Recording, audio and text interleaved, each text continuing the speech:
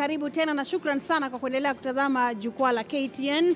Ile tunazungumzia uamuzi ambao umetolewa na mahakama ambapo vinara wakuu serikalini walipaswa kufika mahakamani lakini wamekiuka agizo la mahakama.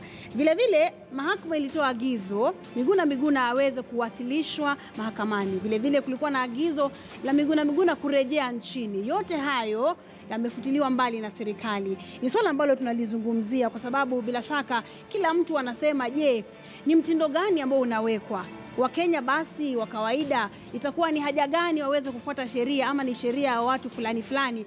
Na hii, leo kwenye studio niko naye Mark Bichachi ambaye ni mtaalamu wa masuala ya mawasiliano na vilevile mchanganuzi wa masuala ya siasa, na huko Kakamega tutakuwa naye ama tuko naye Dr. Alutalala Mohwana ambaye vilevile ni mchanganuzi wa masuala ya siasa. Tutakuwa tunaliangazia swala hili kwa kina pamoja nao. Nitaanza naye Mark Bichachi ambaye yuko hapa. Mark, Ndio. Umefuatilia haya mambo yote, huu mchakato wote umekuwa ukiuangalia. Je, Kwa kina. kwa nini Mkenya wa kawaida mm. aki akiamrishwa kufanya kitu na mahakama, kwa nini afanye? Kwa sababu hii sheria haijasema ni ya watu fulani na watu fulani hawapaswi kufuatwa. Jambo ambalo kama Wakenya tunafaa kuzingatia ni kwamba tusiwe wale wa kuiga mifano mibaya, iwe ni mifano mibaya ya waongozi wetu ama si sisi wenyewe kama wananchi.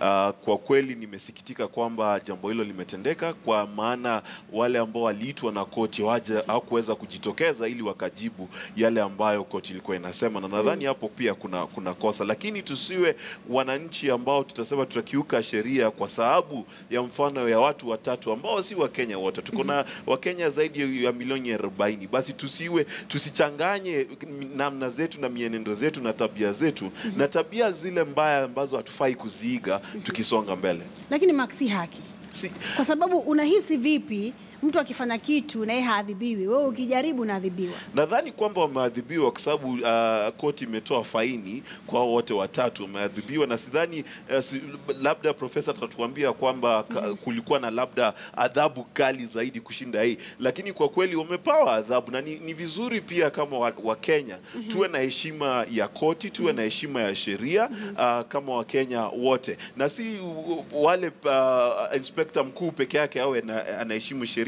basi pia yule Miguna Miguna pia ilikuwa inafaa atii sheria atii sheria pale Januari uh, th- th- th- 30th atii sheria aliporudi Kenya.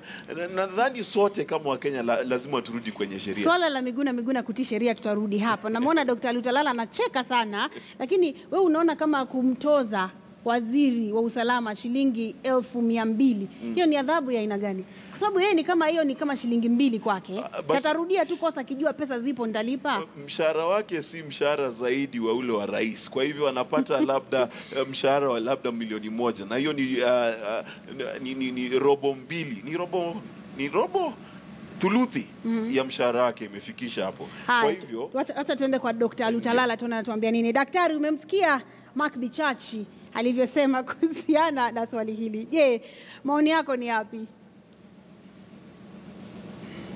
Asante dadangu. Uh, ambalo lanifanya kidogo niwe ni mwenye kucheka kwa umbali ni kwamba kakangu Mark Bichachi leo kitumbua chake kaingia mchanga, maana daima yeye ndiye ambaye amekuwa akishikilia kwamba uh, serikali ipo sawa, haoni baya, haoni zuri, yote ni shwari.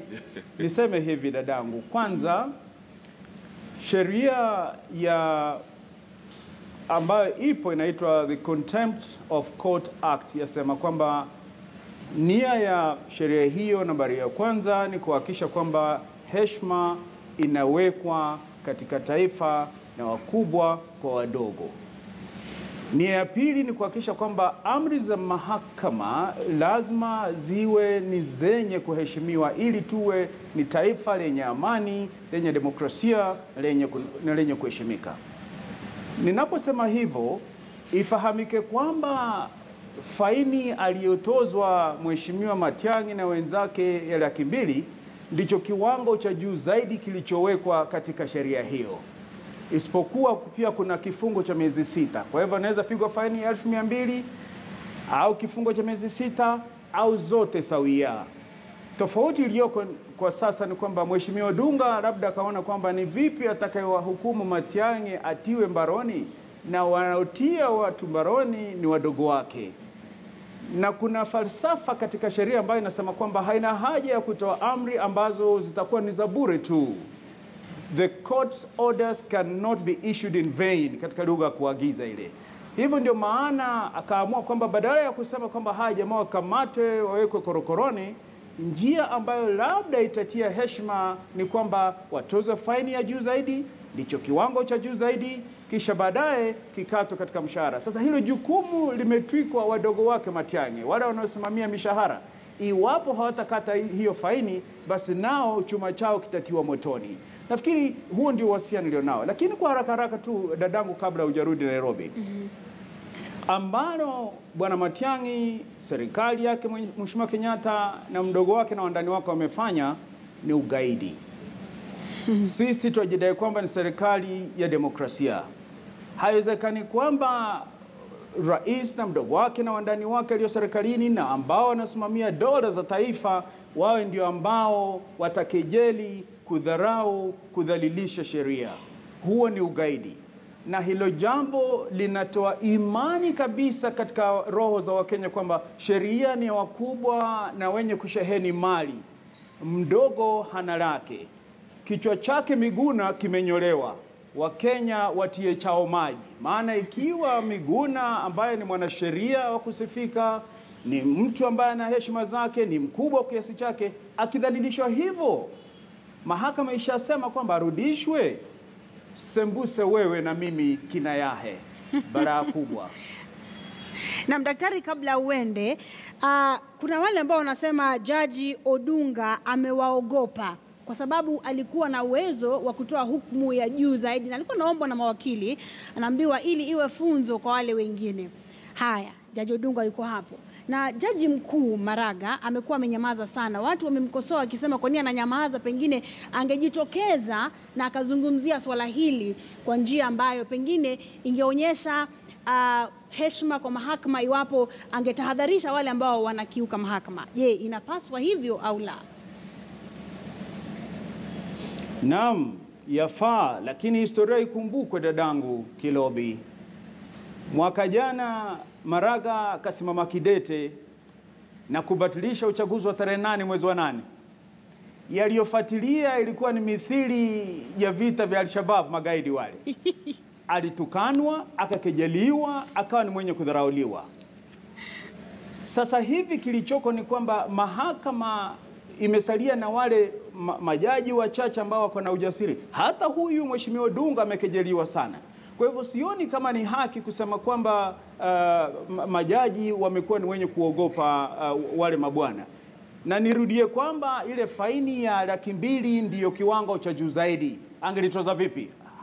hana uhuru wa kutoza atakavyo mheshimiwa Odunga. mm -hmm. Sheria ya the Contempt of Court Act yasema apigwe faini laki mbili ndizo za juu zaidi au kifungo cha miezi sita au zote pamoja, na nimeelezea ni kwa nini. Kwa maoni yangu, mheshimiwa Dunga akaamua iwe ni faini. mm -hmm. La pili, natarajia kwamba mheshimiwa Maraga japo kakejeliwa na kaonywa kwamba ataona chama cha makuni, naomba ajisatiti anaweza kuamua kwamba mahakama zote nchini hazitoshiriki katika kazi zao hadi heshima ya mahakama irejelewe. mm -hmm. Na najua ni gumu hilo, maana hata kwenye mahakama kuna wale ambao ni wa upande na mrengo wa kuvunja sheria na kutoa ilani ambazo si sawa. Ukikumbuka kwamba tarehe 26 mkesha kuamkia tarehe 26 mm -hmm. kulikuwa na majaji ambao walipatikana kwa haraka sana, wengine walikuwa wako Nyeri, wengine walikuwa wapi, na hukumu ikatolewa mara hiyo hiyo na kuhakikisha kwamba kura za tarehe 26 zinaendelea. Kwa hivyo mm -hmm. namhurumia Mheshimiwa Maraga. Mtu wa pili ambayo sharti sasa azungumze ni mwenyekiti wa shirika ambalo linasimamia sisi mawakili, the Law Society of Kenya, -hmm. mgeni yule Alen Gishuhi, maana yule bwana Miguna ni mwenzetu Bwana Orengo, Otendamolo, Nelson Havi, Juli Soweto wote nasikia wamefurushwa kutoka uwanja wa ndege yeah, na kudhalilishwa. mm -hmm. Lazima the Law Society of Kenya yaamke na kusema hili katu haliwezekani. Mtu wa tatu ambaye lazima amke, dadangu, ni mwananchi wa kawaida. Shida tuliyonayo ni kwamba upinzani tangu miaka na mikaka umekuwa ni ngoma Mheshimiwa Raila, na sisi wananchi tuna makosa, maana badala ya kuamini dola za serikali, dola za nchi, state institutions, na kuhakikisha kwamba dola ndizo zenye nguvu na si kuweka imani yetu katika viongozi Leo hii tungekuwa na uwezo wa sisi kama wananchi kwenda barabarani na kusema hili haliwezekani, lakini ngome ya upinzani, ngome ya maandamano yote iliachiwa Mheshimiwa Raila. Mm -hmm. Leo hii kavuka kaenda upande ule, atakayeenda barabarani na kudai haki yetu ni nani? Mm -hmm. Wananchi ni lazima waamke wenyewe na waseme kwamba hii, hii si nchi ya kiimla hii ni nchi ya sheria ya demokrasia na ni lazima mahakama na, na amri zake ziheshimiwe. Naam. Nikimalizia, Miguna ni, ni, ni mwananchi wa Kenya kwa kuzaliwa. mm -hmm. Katiba yasema kwamba ambaye alikuwa raia wa Kenya wakati katiba ilipoanza abakie raia. Hata hivyo, katika sheria ya bunge, the Immigration and Citizens Act section 10 inasema kwamba ambaye alipoteza uraia wakati alipopata uraia mwingine, kwa mfano sasa bwana Miguna, eti yafaa ajiandikishe tena. Lakini katika sheria, katiba ndiyo kubwa. Iwapo sheria ya bunge itakuwa haiendi sawia na katiba, basi katiba ndio inakuwa kipaumbele. Na mwisho, ikiwa kuna mtafaruku baina ya katiba na sheria ya bunge kilivyo sasa, mahakama ndio yenye kuamua.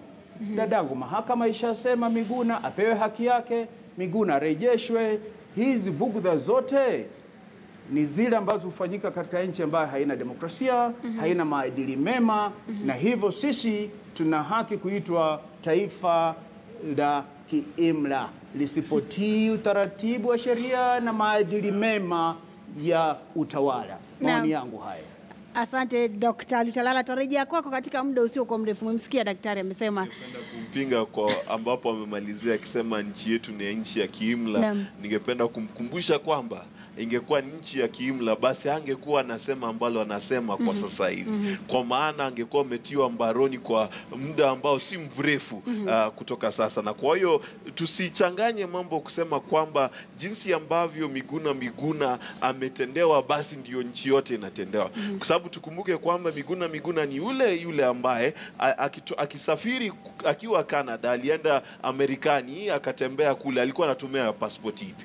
Kumaanisha alikuwa na kile kicheti ambacho kinaitwa passport ambacho alikuwa akitembea nacho nchi ya Marekani, nchi ya Canada na pale uh, nying- nchi nyingi sana za wilaya za Ulaya, kumaanisha kwamba Miguna Miguna alikuwa na cheti cha kusafiri. lakini Uh, si kwa nini unatofautiana na daktari akisema kwamba ni serikali ya kiimla ilhali ni serikali ambayo inakiuka amri ya mahakama? Tuangalie tuachane na mambo mengine yote, ile tu kile kitendo cha kukiuka agizo la mahakama Ndiyo. kwa upande wako Ndiyo. wewe kama sijui sijui unaegemea upande upi, lakini unaliona vipi swala hilo? Ni haki, si haki? Ningependa kusema kwanza mm pale kuna kosa ambalo nadhani serikali ilitenda kwa sababu ya kukosa kwenda kotini, sababu yule jamaa Miguna Miguna si sababu ya kutosha ya sisi kukosa ku- ku- kwenda kotini na kutii uh, yale ambayo koti inasema, na hiyo haina tashwishi wa haina mjadala, ni jambo ambalo lipo, Na wanasema, jambo jambo mm -hmm. la muhimu ni Jaji Odunga bado ana nguvu za kutosha za kutoza faini ambayo ni ya juu kabisa kwa wale ambao wamekiuka amri ya, ya koti. Kwa hivyo tusiseme kwamba tuko katika nchi ya kiimla. Ni siku gani ulimwona Saddam Hussein akapelekwa kotini?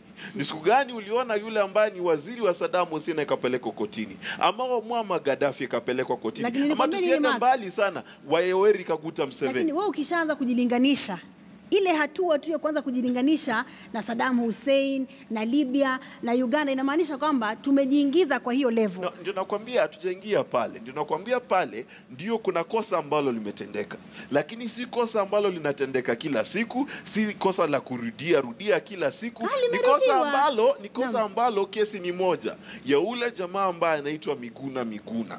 Kwa sababu cha kwanza wa, wali, walikiuka sheria ikasemekana wakati walipo walipomtimisha Kenya wakampeleka kule Canada. Aliporudi, aliposhindwa kuingia nchini, na ningependa kwamba kusema kwamba alikuwa na cheti cha kuingia nchini, akakosa kulitumia hicho cheti, akataa kuingia kwenye nchi katika kutumia kitambulisho chake, jambo ambalo aliwezekani.